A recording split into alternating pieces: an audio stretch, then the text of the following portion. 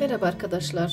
Bugün sağlıklı beslenme programımızın 7. günündeyiz ve hafta sonu olduğu için e, yine biraz kaçamaklı bir e, öğün yapacağız. Ama dünkü yaptığımız kaçamağın telafisini nasıl yapabiliriz? Önce onu anlatmam lazım. Dün e, hamur işi yedik, işte biraz e, reçel yedik. Tabii kısmen e, faydalı onlar. Yani çok az miktarda yediğimiz için normalde zararı olmaması lazım. Ama telafi etmek için burada ben size sağlıklı bir çay tavsiye edeceğim. Bu çay e, ben buna detoks diyorum yani resmen. İçinde limon ve zencefil var ve rooibos var. Rooibos kırmızı çay olmuş oluyor. Şu şekilde renginden de gördüğünüz gibi. Bu e, gerçekten çok faydalı bir çay. İçerisinde vitamin var bir sürü. Ondan sonra potasyum var, kalsiyum, magnezyum, iyot var, bakır, fosfor, sodyum. Bunların hepsi bu çayın içinde var. Düşünün yani ne kadar sağlıklı bir çay. Ben de bunu daha çok kışın içiyorum. Ama detoks yapsın istediğim zaman da bu şekilde hafta sonları yediklerimi e, telafi etsin diye bu çayı tercih ediyorum.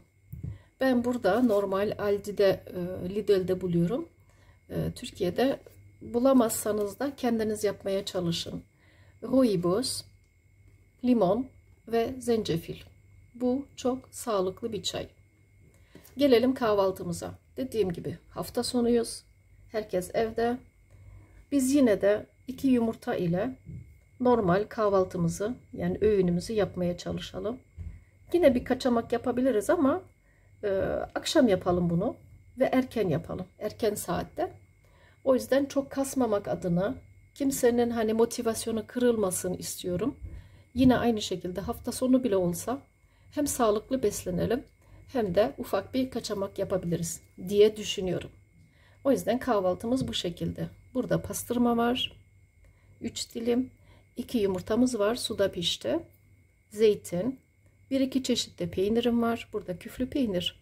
Bu peynir de çok sağlığa faydalı. Bunun içindeki e, bakteriler e, midemize de bağırsaklarımıza da faydası var.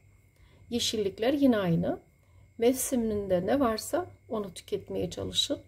Limon yine aynı. Antioksidan. Bunların hepsi sağlıklı.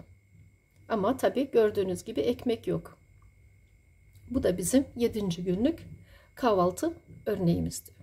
Birazdan da size ara öğün örneği vereceğim. Ve gelelim şimdi ara öğünümüze. Bugün e, hafta sonu olduğumuz için tabii biraz kaçamak yaptık. O yüzden sağlıklı ara öğün yapmaya devam ediyoruz. Ben burada size iki tane incir koydum. E, siz bir tane de yiyebilirsiniz. Türk kahvesi şekersiz ve sütsüz, bol köpüklü. Bu da çok iyi bir ara öğün olarak iyi gider. Tabii bu arada yürüyüşümüzü ihmal etmiyoruz, hareket ediyoruz. Bol su içiyoruz. Tabii sabah ilk kalktığımızda e, ılık veya sıcak su içmeyi unutmuyoruz. Bunları yaptıktan sonra her ne kadar kaçamak yapsak bile sağlıklı e, yaşamaya veya sağlıklı hareketler yapmaya devam ediyoruz. Şimdi size bir başka kürden bahsetmek istiyorum. Madem hafta sonuyuz ve hafta sonu fazla kaçamak yaptık. Bunun telafisi olmalı. Değil mi? Bağırsaklarımızı hızlı çalıştıracak bir şeyler lazım. Şimdi gelelim. Bir, aslında bu bir kabızlık kürü. Yani kabızlığı gideren bir e, karışım. Ama ben size bugün bağırsaklarınızı çalıştırsın diye tavsiye edeceğim. Burada 4 kaşık yemek e, yemek kaşığı yoğurt var. Ev yoğurdu. Bunun içerisine şöyle bir çay kaşığı kadar acı biber koyacağım. Ve yine aynı bir çay kaşığı kadar da zencefil katacağız. Burada da zerdeçal var. Hepsinden birer çay kaşığı katıyoruz yoğurdun içine. Karıştırıyoruz hepsini ve bu karışım bizim bağırsaklarımızı harekete geçiriyor. Bu neredeyse garanti çözüm yani. kabızlığınız varsa mutlaka bu karışımı deneyin. Harekete geçecektir bağırsaklarınız. Onun haricinde bunu 16 e, saatlik zaman diliminde yapabilir miyiz diye soruyorlar. Hayır yapamayız. Çünkü e, o anda liptin bozulur yani. Ama bunu gündüz yapın. Mesela ara öğün olarak yapın. Ben kahve içtim ya. Siz bunu yapın. Gündüzden bağırsaklarınızı güzelce çalıştırmış olursunuz. Çünkü akşama da biraz kaçamak yapacağımız için bu bizi e, telafi ettiriyor yani anlayacağınız.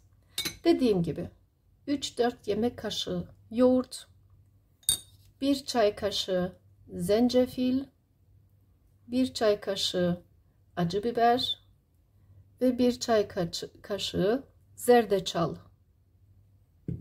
Bu üçünü içine katıyoruz, karıştırıp yiyoruz. Bu da bağırsaklığı gideriyor, yani kabızlığı gideriyor ve bağırsaklarımızı hızlı çalıştırıyor. Anında harekete geçiriyor. Mutlaka deneyin. Ve şimdi gelelim 7. günümüzün sağlıklı beslenme öğününe. Bugün hafta sonu olduğu için yine aynı ufak bir kaçamak yapabiliyoruz. Burada e, patates kızartması var ama sadece 2 kaşık kadar var.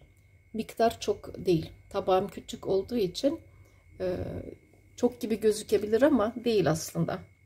Bu akşam patates kızartması yiyoruz. Ödüllü günümüzdeyiz çünkü hafta sonuyuz. Ve burada e, balık pane var. Bu balık paneyi mümkünse fırında pişirin. Çok daha hafif olsun diye. Yanına yine aynı bol yeşil salata yapabilirsiniz. Hatta roka bulursanız roka yiyin. Çok güzel olur yanında. Dediğim gibi fazladan bir şey daha ekleyebilirsiniz. Bir çorba.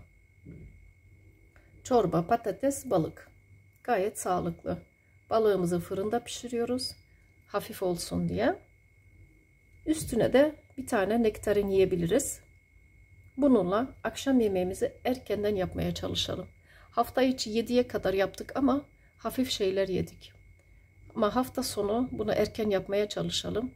Ve mutlaka yürüyüşlerimizi de ihmal etmeyelim. Çünkü hafta sonu yediklerimize biraz daha fazla efor gerektirir. Bu yediğimiz kalorileri yaksın diye.